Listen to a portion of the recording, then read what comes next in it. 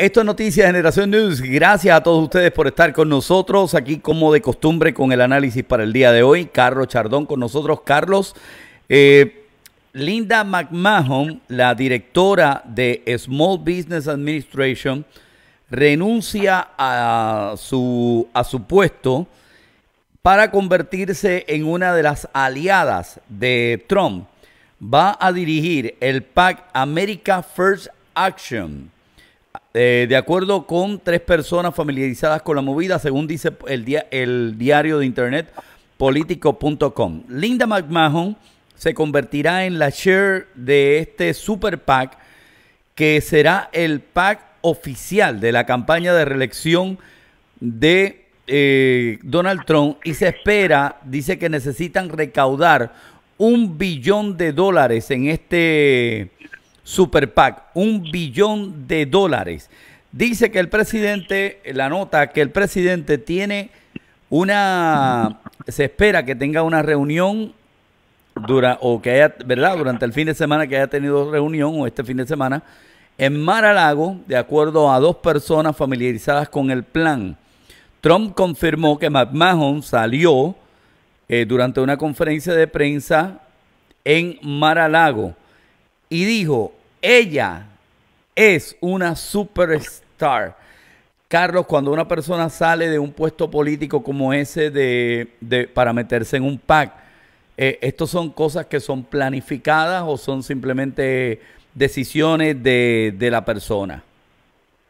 Vamos a decir que son fríamente calculadas. Eh, fría, espérate, espérate, esto, eso fríamente calculada, Carlos, es como que todo no esperaron que las estrellas se movieran, sino que ellos movieron las estrellas. Definitivamente, si las estrellas no se alinean por su cuenta, uno las mueve para que se alineen. Y eso es lo que ha hecho especialmente el presidente Trump. Esta señora es una persona que se conoce en muchísimos círculos. Yo creo que antes de ella ser directora del BIE, yo no sé si investiga por ahí si me encuentra, ella lo que dirigía era algo de, de ¿cómo se llama esto? De lucha libre o algo así, ¿no? Ok, déjame, déjame buscar este, déjame buscar. A mí me está familiar porque yo la, yo la, la veo. De hecho, dice que ella es Sí, Linda Marie McMahon es una former professional wrestling executive. Ahí lo tiene. Y es la directora de Small Business Administration. Carlos, eh, tú, tú en algún momento en tu vida trabajaste en, en o estuviste a cargo de, una parte en, en Puerto Rico en Small Business Administration una persona como, como ella, que sería en aquel momento el puesto que tendría la jefa de todos los directores de todos, en una posición como esa en Small Business, Administration, con toda la gente que se le da ayuda para hacer negocios, eh, eh, ¿hace influencias de dinero, Carlos? No, de ahí no va a salir dinero. Ok. Y particularmente en este caso, y te voy a decir por qué cuando yo te digo que la, hay que alinear las estrellas, ella claramente entró en esa agencia y como que se sumergió en la agencia y nadie sabía de ella. No, no, yo ni me acordaba que estaba ahí. mientras que otras directoras han sido verdaderamente unas estrellas. sí, no es como no es como Ben Carson que, que ha estado ahí en vivienda directo este, no es, no es como ese, no es como la Nielsen, la de la de la de Homeland Security tampoco.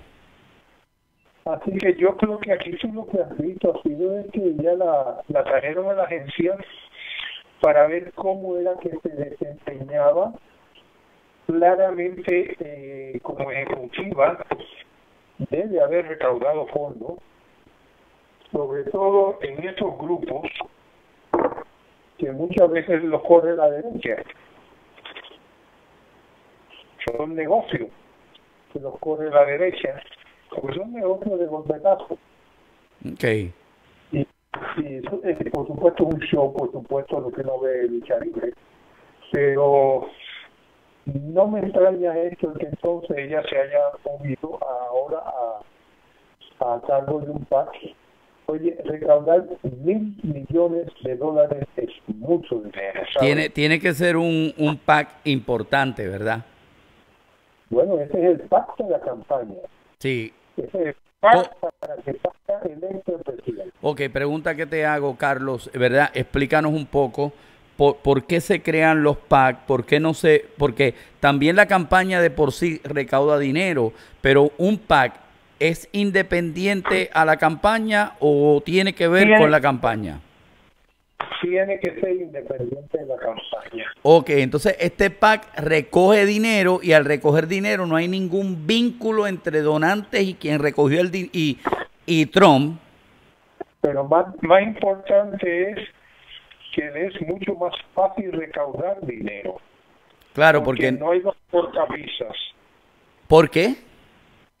Porque no hay las cortapisas de que tú tienes que dar ciertos tipos de informes. El PAC tiene que dar informes, pero puede recibir cantidades mucho mayores de las que puede recibir una campaña. Ok. Yo puedo donar a un PAC un millón de dólares, mientras que una campaña no lo puedo donar a menos que sea mi propia campaña. Ok, ok.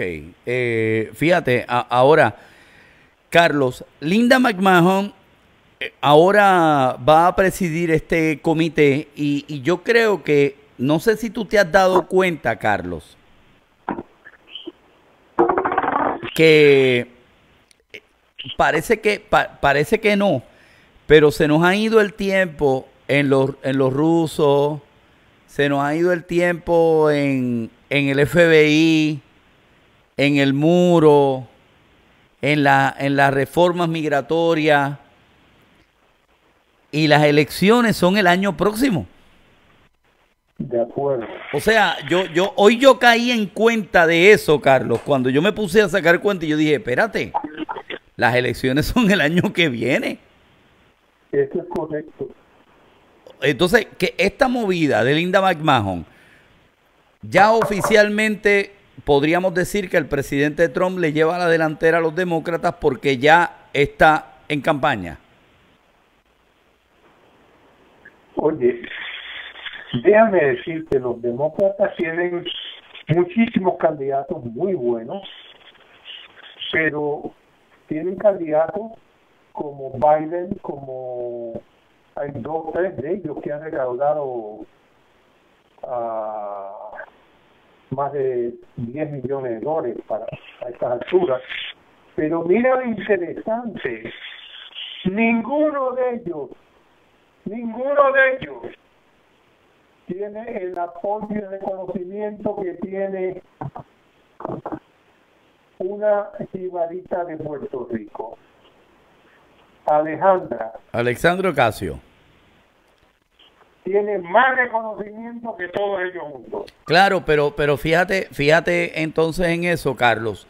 Mientras, o sea, mientras los demócratas están ahora buscando quiénes van a ser sus posibles candidatos, porque no es su candidato, sus posibles candidatos, ya Donald Trump tiene una directora de su principal PAC ya tiene un comité de campaña, ya tiene dinero recaudado, eh, millones recaudados, ya tiene 50% de popularidad en la nación en este momento que lo estaba celebrando en otros días. Y ahora es que los demócratas se están moviendo a, a hacer campaña para la primaria.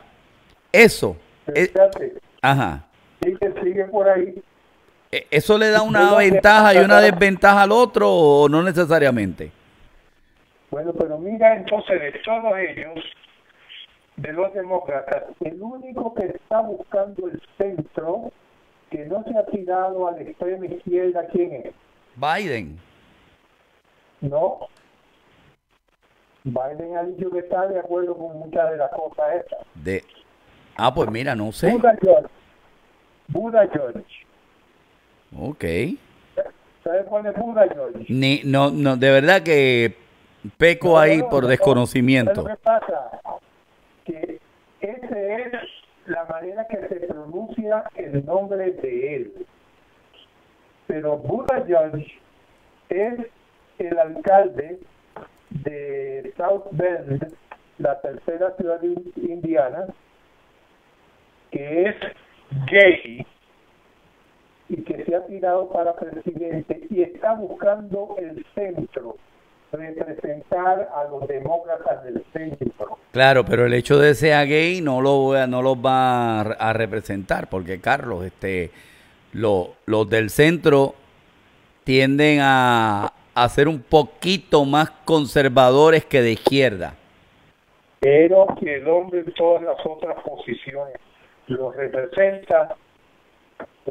Bueno, a- aunque sí, porque los de centro, los de centro no tienen problema con, con, con votar por una persona gay. O sea, yo creo que los de centro se fijan más en, en cuáles son sus, sus posturas eh, eh, en, en cuestiones económicas. A lo mejor, a lo mejor el tema del aborto es un poco más fuerte para, para los de centro que el tema gay.